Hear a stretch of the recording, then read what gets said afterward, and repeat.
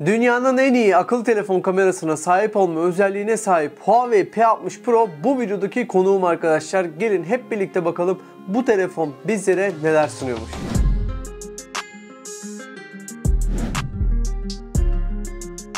Arkadaşlar videonun başından hemen sizlere şunu söyleyeyim. Sesim yüzünden lütfen kusura bakmayın. Çünkü çok ciddi bir hastalığın son günlerindeyim. Sesim hala düzelmedi ama ben iyiyim. Şimdiden geçmiş olsun dileklerinize de teşekkür edeyim. Ve şunu da ekleyeyim. Kanalımı daha daha üst seviyeye taşıyabilmek için sizlerin desteğine sonsuz seviyede ihtiyacım var. O yüzden kanalıma abone olup sosyal medya hesaplarımı takip ederseniz beni sonsuz mutlu edersiniz. Gelelim Huawei P60 Pro'ya. Şimdi bu akıllı telefona geçmeden önce çok küçük bir şey eklemek istiyorum Huawei Huawei hakkında. Çünkü benim de çok hoşuma giden ve ülkemize verdikleri değer anlamında sizlerle de paylaşmak istediğim ufak bir detay var. Biliyorsunuz Huawei geçtiğimiz dönemde bir Google problemi yaşadı ve bu Google problemine rağmen dünyadaki daralmaya da buna baktığımızda rağmen Türkiye'ye herhangi büyük bir daralma uygulamıyor Huawei tarafı. Yani burada müşterinin son teknoloji ürünlere ulaşabilmesi için ülkemizde tanıttıkları tüm ürünleri bir şekilde getirip satışa sunuyorlar. Öncelikle bunu bence tebrik etmek lazım. Çünkü Apple dışındaki yani bir marka dışındaki diğer markalarda bunu çok da göremiyoruz arkadaşlar. Bunu zaten hepiniz de biliyorsunuz. İşte o model ne zaman gelecek, bu model ne zaman gelecek gibi sorular piyasada dolaşırken Huawei ne çıkartırsa çıkarsın çıkardığı ürünlerin bence %98'e varanını ülkemizde satışa sunuyor. Ki geçmiş dönemde güneş gözlüğünü bile getirip satışa sunmuşlardı ülkemizde. Bunun da altını çizmek lazım. Bu açıdan da markaya bir teşekkür etmek lazım bence. Buradaki teknoloji severleri öyle veya böyle teknolojiden uzak tutmadıkları için. Dönelim P60 Pro'ya. Şimdi bu akıllı telefon gerçekten kamera anlamında rakibi yok. Yani benim de hani yıllardır sizlere 10 yıldır içerik üretiyorum. Teknoloji içeriği üretiyorum. Yani gördüğüm akıllı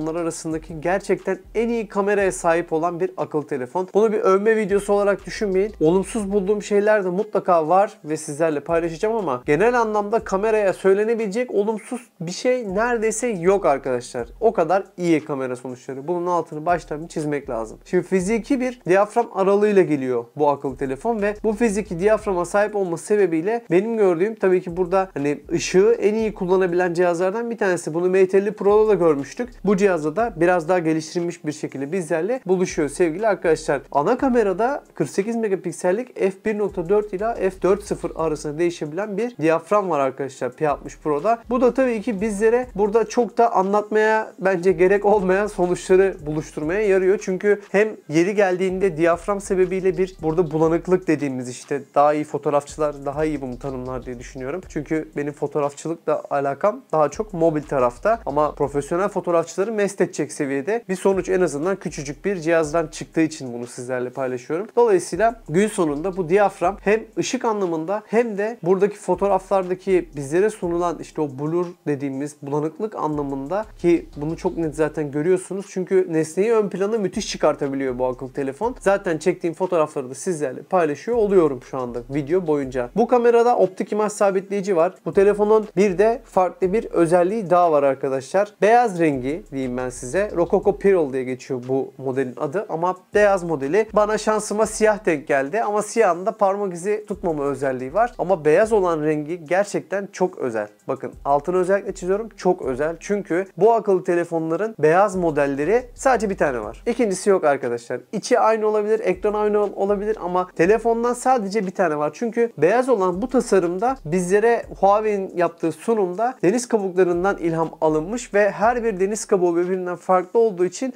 Huawei P60 Pro'nun da arka tasarımı birbirinden farklı. Her cihaz ayrı bir P60 Pro beyaz rengi diyebilirim sizlere. Sağlamasını yapmak isterseniz de teknoloji marketlere gidip kendiniz de bakabilirsiniz ama ben elindeki fotoğrafları, görselleri zaten sizlerle yine şu anda paylaşmış oldum sevgili arkadaşlar. Periskop kameraya doğru geçmek istiyorum. Böyle ufak bir genel kültür bilgisi vermiş olduktan sonra sizlere. Periskop kamerada da özel geliştirmeler var. Özellikle makro tarafında yolun sonundayız diyebilirim sizlere. 3.5x optik zoom yapabiliyor bu periskop kamera ve 48 megapiksellik bir çözünürlük ile geliyor. Bu kamerada %100'e kadar zoom yapabiliyorsunuz ve OIS desteği var. Zaten zoom performansını da sizlere şu anda gösteriyorum. Çok güzel bir yerde çektim bu fotoğrafları. İnciraltı Kent Ormanı var İzmir'de. Burada çektim ve İzmir'in neredeyse bir ucundan diğer ucuna diyebilirim sizlere. İzmir'i bilenler bilir, bilmeyenler de haritadan baksın. Şöyle söyleyeyim. Bulunduğum yer İnciraltı Kent Ormanı'ydı ve oradan karşı tarafı yani Bayraklı'yı ve Kona görüntüledim arkadaşlar. 100x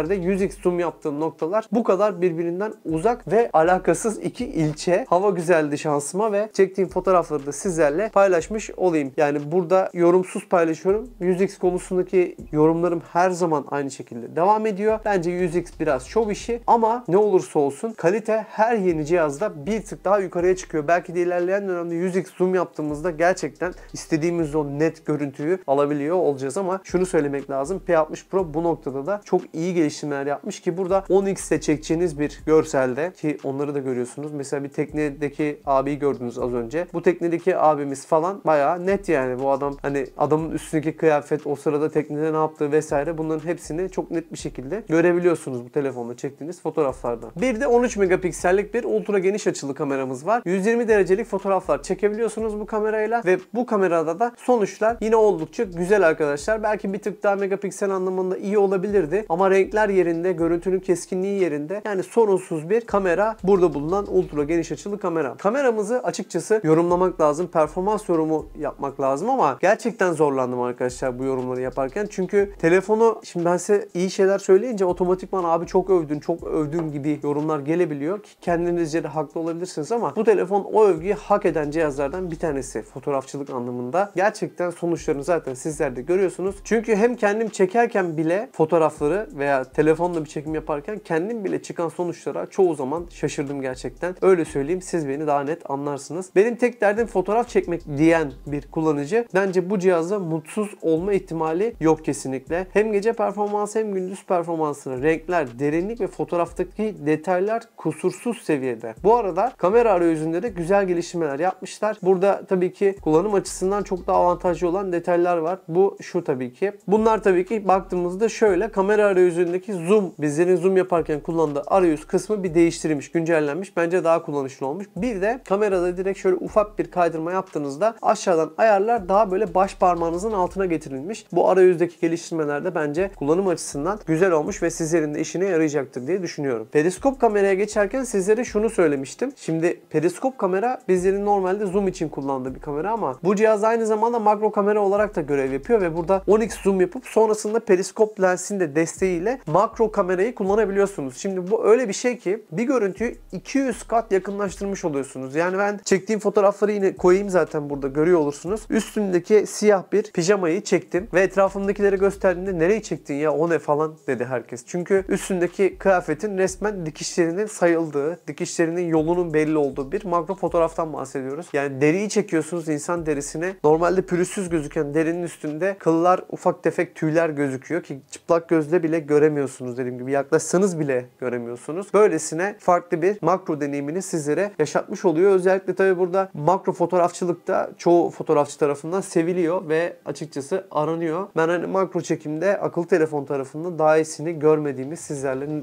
net bir şekilde paylaşabilirim. Şimdi burada bir şanssızlığım var. O da şu. Telefon elime geleli yaklaşık bir hafta falan oldu. Ya bir türlü istediğim o ay görüntüsünü yakalayamadım arkadaşlar. Bir tık rahatsızlığım vardı, bir tık yoğunluğum vardı. Bir de sürekli takip ediyorum işte ay bugün nasıl falan diye. Hava kapalı oluyor, yağmur yağıyor falan. O fotoğrafı bir türlü çekemedim ama sizlere örneklerle göstereceğim. Şimdi biliyorsunuz P30 Pro ile beraber bir ay fotoğrafçılığı furyası başladı akıllı telefon camiasında. İşte Huawei koydu, diğer markalar koydu ama ben sürekli sizlere videolarla işte hangisi en iyisi gibi testler yaparak soruyorum. Genelde hep Huawei seçiliyor ay fotoğrafçılık konusunda. Şimdi bu iş başka bir seviyeye taşınmış ki benim neden bunu yapmıyorlardı dediğim bir özellikti. Çünkü şöyle normalde aya tamamen zoom girdiğinizde ayı net bir şekilde çekebiliyordu bu akıllı telefonlar. Ancak P60 Pro'da şöyle bir detay var. Bir manzara gördünüz ve manzaranın tepesinde de ay var. Işık saçıyor delicesine. Ve o ışık saçan ayı çektiğinizde parlak saçma sapan bir görüntü görüyordunuz normal şartlarda. Telefonla aya zoom yapsanız bile bu özellik yoktu. Ama şu anda P60 Pro'da bir ay bulunan görsel çekmek istediğinizde, fotoğrafını çekmek istediğinizde ayda aynı aya zoom yapmışsınız gibi. Yani siz çıplak gözle nasıl görüyorsanız o ayı aynı öyle fotoğrafta çıkıyor arkadaşlar. Arkadaşlar. Bunu gerçekten beğendim. Zaten sizlere de şu anda anlatmışımdır diye düşünüyorum açıkçası. Anlatabilmişimdir diye düşünüyorum. Yani sizlere de bunu aktarabilmişimdir diye gösteriyorum. Gösterdim de zaten şu anda elimdeki en azından bulabildiğim örnek fotoğraflarla ki fotoğrafları ben çekmedim. Tekrardan altını çizeyim. Tabi şöyle bir detay var yine hoşuma giden. Yapay zeka desteğiyle bu akıllı telefonda gece fotoğrafçılığında gram neredeyse yok denebilecek seviyeye inmiş. Bu da ayrı ve özel bir detay. Çünkü özellikle ben hep mesela diyorum ya akıllı telefon sonuçta bir granlenme vesaire oluyor. Bunda minimum seviyeye çekmeyi başarmışlar gerçekten granlenme problemini. Deuxo marka göre dünyanın en iyi akıllı telefon kamerasına sahip olan bu akıllı telefon bence de gerçekten şimdiye kadar gördüğüm en iyi akıllı telefon kamerasına sahip fotoğrafçılık anlamında arkadaşlar diyeyim ve video tarafıyla devam edeyim. Bu akıllı telefonla 4K 60 FPS videolar kayıt yapabiliyorsunuz arkadaşlar. Sonuçlar Huawei'in video kalitesine göre oldukça gelişmiş durumda. Zaten görüyorsunuz şu anda. Makro video ve diğer video efektleri de oldukça güzel olmuş.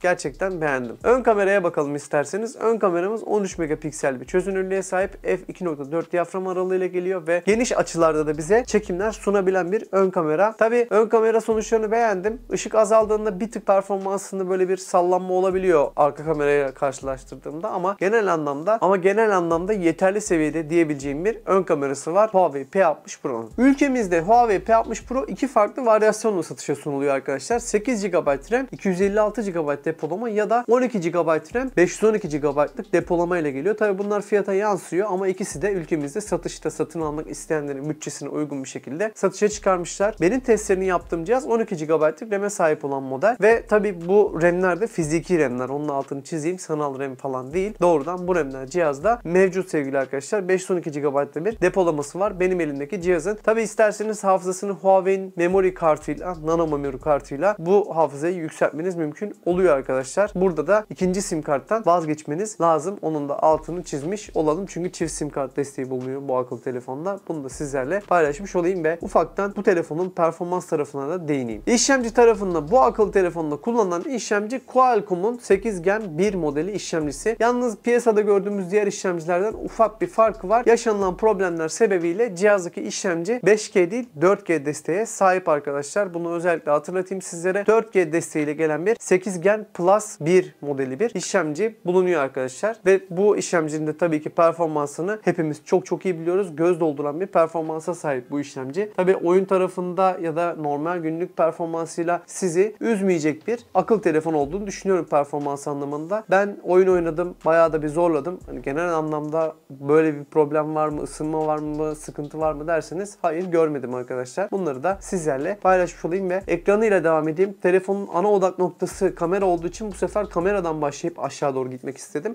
O yüzden farklı bir akış oluyor. Zaten fark edenler fark etmiştir diye düşünüyorum. Ekran özel tasarlanmış arkadaşlar. Güzel bir ekran gerçekten. Deneyimi oldukça başarılı. Ekran çerçevelerine önem vermiş Huawei tarafı. Ekran çerçevelerini gerçekten orantılı tasarlamışlar. Yani bir iOS modeli cihazdan sonra farklı bir üreticinin bir HarmonyOS ya da bir EMUI arayüzüyle gelen bir üreticinin bu kadar güzel bir ekran kasa oranıyla çıkıyor olması bence güzel bir gelişme. Özenmişler ve güzel de bir iş ortaya koymuşlar gerçekten. 6.67 inç boyutunda bir ekranı var bu akıllı telefonun ve LTPO OLED yapıda bu ekran. Tabi burada LTPO bizlere ne sunuyor derseniz 1 Hz ile 120 Hz arasında bir yenileme hızını bizlere sunabiliyor bu akıllı telefon. Bu da şu demek oluyor. Telefonu kilitlediğinizde Always On display'e geçtiğinde telefon 1 Hz'lik bir yenileme hızı kullanıyor. Bu da bizlerin pil ömrüne çok olumlu etki ediyor gün sonunda. Dolayısıyla LTPO bu ekranlar gerçekten başarılı bir pil ömrünü de beraberinde getiriyor. Yeni nesil bu ekran panelleri. Bunun altını çizelim. Ekran deneyimi bence tartışmaya açık olmayan bir durumda bu akıllı telefonu. P60 Pro gün altında görüş noktasında da önemli bir sorun sizlere yaşatmıyor. Çünkü maksimum 1200 nit parlaklığa kadar ulaşabiliyor. Multimedya tüketimi için fazlasıyla yeterli. Oyun anlamında da sizleri üzmeyecek seviyede bence bu akıllı telefonun ekranı. Ayrıca ekranda ayrıca ekranda X True Display isimli bir özellik var. Bu özellikte arkadaşlar o an ortamda ne varsa o görüntüye göre ya da sizin bulunduğunuz ortamdaki ışığa göre, renge göre ekranı ayarlıyor. Bu bazı modellerde ya da bazı markalarda gördüğümüz bir özellikti. Bu akıllı telefonun ekranında da mevcut olduğunu sizlerle paylaşmalıyım sevgili arkadaşlar. Ekran camı özel arkadaşlar. Bu da güzel. Huawei tarafından geliştirilen bir Kunlun Glass var. Sizlere bundan Mate 50 Pro'da bahsetmiştim. Bu cihazda kullanılan Kunlun Glass ki Mate 50 Pro'da sadece turuncu renk olan cihazda vardı. Siyah olan cihazda yoktu Kunlun Glass. Bu cihazlarda iki model, iki renkte de var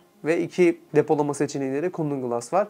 Bunu da özellikle belirtmek lazım. Şimdi Cooling Glass şu andaki normal bir ekran camına göre 10 kat daha dayanıklı, daha dayanıklılığı artırılmış durumda. Dolayısıyla biraz daha sağlam ve biraz daha dayanıklı bir cihaz olduğunu söylemem de mümkün sizlere. Hazır yeri gelmişken biraz yazılımdan da bahsedelim isterseniz. Cihazda EMUI 13.1 var. Android 12 tabanlı bir işletim sisteminin üstünde çalışıyor. Bu arayüz en güncel arayüz bizlerle buluşuyor arkadaşlar. Huawei mobil servisiyle geliyor. Bu akıllı telefon içerisinde tabii ki App Gallery var ve App Gallery üzerinden hemen hemen ihtiyacınız olan ana anlamdaki tüm uygulamaları çok rahat ve sorunsuz bir şekilde indirmeniz mümkün oluyor. Artık App Gallery'yi zaten bence tartışmaya gerek bile yok. Çok büyük bir yol kat etti ve çok da iyi bir durumda şu anda yoluna devam ediyor. Ancak bana App Gallery yetmiyor. Ben daha fazlasını istiyorum diyenler içinse sizlere yeni bir üçüncü parti yazılım çözümünde buradan belirtmek ve paylaşmak isterim. Gbox isimli bu üçüncü parti Google uygulaması arkadaşlar gerçekten güzel işleri bizlerle buluşturuyor. Şimdi App Gallery üzerinden zaten WhatsApp, Instagram, Spotify gibi uygulamaları rahat rahat indirip kurabiliyorsunuz. Üçüncü parti olan bu Gbox'ı kurduğunuzda da buradan istediğiniz gibi Google uygulamalarına erişebiliyorsunuz. Gbox'ın diğer Google çözümlerinden en büyük farkı bildirimleri rahat rahat size gönderebiliyor olması. Yani ana ekranınıza Google uygulamalarından gelen bir bildirim varsa çat diye düşüyor arkadaşlar. Bu güzel olmuş. Özellikle YouTube kullananlar için vesaire böyle YouTube'dan kopamayanlar uygulama anlamında en iyi, en verimli şekilde kullanmak isteyen kullanıcılar için bence güzel bir detay olarak karşımıza çıkıyor. Peki Gbox'ı nasıl kuracaksınız? Hemen hızlıca ona da değineyim. Gbox'ı App Gallery'e girip arama yapıp indiriyorsunuz arkadaşlar. Birçok izin istiyor sizlerden. Bu izinleri vermeniz gerekiyor ve Google'da hesap açtıktan sonra Google servisi ihtiyacı taşıyan uygulamaları kurmanız mümkün. Dediğim gibi burada uygulamaları kullanmayabiliyorsunuz bu arada. Herhangi bir uygulama varsa telefonunuzda bunu da oradan Gbox'a da kullanmayabiliyorsunuz. Genel olarak da bildirim sorununu buradan ortadan kaldırmış oluyorsunuz. Bir şekilde Google servisleri geçtiğimiz yıllarda cihazları kurulabiliyordu ama orada hep bildirim problemi vardı. Diğer çözümlerde de bildirim problemleri vardı. Ancak bu üçüncü parti uygulama olan Gbox'la çözülmüş durumda şu anda. Dediğim gibi bu üçüncü parti uygulamayı App Gallery üzerinden indirerek sizler de telefonunuza yükleyip kullanabilirsiniz. Huawei P60 Pro'da arkadaşlar 4815 mAh'lik bir pil görevi yapıyor ve bu pil çok hızlı bir şarj yeteneğine de sahip. 88 Watt bir şarj yeteneğiyle geliyor bu akıllı telefon. Kutudan ihtiyacınız olan her şey çıkıyor. Hatta kutudan çıkan bu adaptörle iki farklı giriş bulunuyor üzerinde. Bir tarafı Type-C, bir tarafı da tip A. Bir tarafı Type-C, bir tarafı da tip A dediğimiz yani eski nesil USB dediğimiz bir giriş var. Yaklaşık bence bu adaptörün değeri 1000 lira vardır. Bu adaptör de kutudan çıkıyor arkadaşlar. İhtiyacınız olacak şekilde. Yani bir Huawei ekosistemiydi. Bilgisayara sahipseniz, kulaklığınız varsa, saatiniz varsa bunların hepsini tek bir adaptörle şarj edebiliyorsunuz. Bu bence güzel bir detay tabii ki. Pille alakalı özellikle bahsetmek istediğim performans detayları var. Bunlar etkileyici bence. Çünkü pil ömrüne baktığımda benzer bir işlemci modelini kullanan rakiplerinden %20 %25 daha iyi bir pil ömrü sunuyor bu akıllı telefon. Bu önemli bence. Ve 0-100 arası şarj testinde yaklaşık 17 ile 19 dakika arasında dolum yapabildiğini gördüm. Buradaki 17 ile 19 dakika arasındaki dolum hani o 2 dakikalık farkın sebebi bir telefona bildirim geliyor. Açıyorsunuz vesaire bir şey oluyor. O hassas biliyorsunuz ultra hızlı şarjlar. Dolayısıyla hani telefonu kendi haline bıraktığınızda bu süre 17 dakikaya kadar düşebiliyor. Bunu da söylemek lazım. Gerçekten etkileyici ve tabii farklı pil testleri de yaptım bu akıllı telefonla. O da şu %50 şarja 10 dakikada ulaşabiliyor ve 50 wattlıkta bir kablosuz şarj desteği bulunuyor bu akıllı telefonda. Bunun da hemen bilgisini sizlerle paylaşayım. Geçtiğimiz günlerde bir Huawei toplantısına katıldım ve orada da ülke müdürü Alan'a sorma fırsatımız oldu. Çok yakında bu 50 wattlık kablosuz şarj desteğini de sağlayan altyapının ülkemize satışa sunulacağını da ülke müdüründen doğrudan öğrenmiş oldum. Sizlerle de paylaşmış olayım. Aynı zamanda kablosuz ters şarj özelliği de yine bu cihazda bulunuyor arkadaşlar. Huawei'den aldığım bilgilere göre bu akıllı telefonun pili tam 2000 şarj döngüsüne sahip. Yani yaklaşık 2000 defa şarj ettikten sonra pil ömrünü hafiften tüketmiş oluyorsunuz sevgili arkadaşlar. Peki ben bu akıllı telefonda neleri sevdim? Şimdi onları sizlerle paylaşayım. Bir kere arkadaşlar Huawei cihazlar arasındaki iletişim bence artık takdirlik seviyeye ulaşmış durumda. Tüm cihazlarından bahsediyorum. İşte tableti, bilgisayarı, kulaklığı, saati bunlar oldukça birbiriyle uyumlu ve güzel bir şekilde çalışıyor. Bunu zaten sevdim ve bilgisayar incelemelerinde vesaire de sevdiğimi sizlerle paylaşmıştım. Performans anlamında sizleri üzmüyor bu akıllı telefon. Fotoğraf kalitesiyle ise gerçekten tartışmanın tamamen önünü kapatıyor bence. Bütün zaten fotoğrafları, detayları, her şeyi sizlerle paylaştım. Sizlerin de bu konudaki düşüncelerini oldukça merak ediyorum. Yani ben böyle beğendim ettim falan dedim ama belki de aranızda beğenmeyenler mutlaka çıkar ya da çıkacaktır. Buna da eminim tabii ki her zaman olduğu gibi. Çünkü zevkler ve renkler tartışılmıyor arkadaşlar. Hepiniz bunu çok iyi biliyorsunuz. Burada stereo hoparlörlerin bir önceki nesle göre geliştirilmiş olması oldukça önemli bence. Yani deneyime oynamış Huawei burada ve deneyim konusunda kusursuz bir cihazı bizlerle buluşturmaya çalışmışlar. Başarılı olmuşlar diyebilirim sizlere. İki farklı varyasyonla ülkemize satışa çıkıyor olması yine güzel bir detay. Böylesine ekonomisinde şu anda alım gücüyle alakalı şikayette bulunan insanların bulunduğu bir topluluğa böyle bir tabii çözüm sunulması oldukça önemli bence. Çünkü aradaki hani bazı insana göre 1000 lira ya ne olacak diye derken bazı insana göre 1000 lirayı nereden bulayım da olabiliyor. Hani orada her kitleye oynayan bir fiyatlandırma politikasıyla çıkmış olmuş Huawei bana sorarsanız. Çünkü cihazın düşük versiyonu olan yani 8 GB RAM'li versiyonu 36.999 bin TL'den satışa çıkıyor. En üst versiyonu ise benim sizlere anlattığım 12 GB RAM'li versiyonu ise 39.999 liradan satışa çıkıyor arkadaşlar ülkemizde. Arada yaklaşık 3000 TL'lik bir fiyat farkı var. Bunu da sizlerle paylaşayım. Ve tabii gün sonunda Huawei seven, Huawei cihazlardan vazgeçemeyen, Huawei'in kalitesinden memnun olan insanlar için bence bu akıllı telefon vallahi güzel olmuş. O insanları oldukça mutlu eder, oldukça da sevindirir diye düşünüyorum. Zaten bazı arkadaşlarım var etrafımda Huawei seven ve bana özellikle soran bu videoda onlara da cevap vermiş olduk. Yani cihaz gerçekten güzel olmuş arkadaşlar. Sizlerin de seve seve kullanacağını ve aldıktan sonra da pişman olmayacağını düşündüğüm bir akıllı telefon. Sizler ne düşünüyorsunuz bu akıllı telefon hakkında? Yorumlara yazmayı ihmal etmeyin arkadaşlar. Bir sonraki videoda görüşene kadar kendinize çok iyi bakın. Tekrardan muhtemelen yazanlarınız olur. Geçmiş olsun dileklerinize teşekkür belirteyim. Bir sonraki videoda görüşene kadar kendinize çok iyi bakın. Hoşçakalın. Bay bay.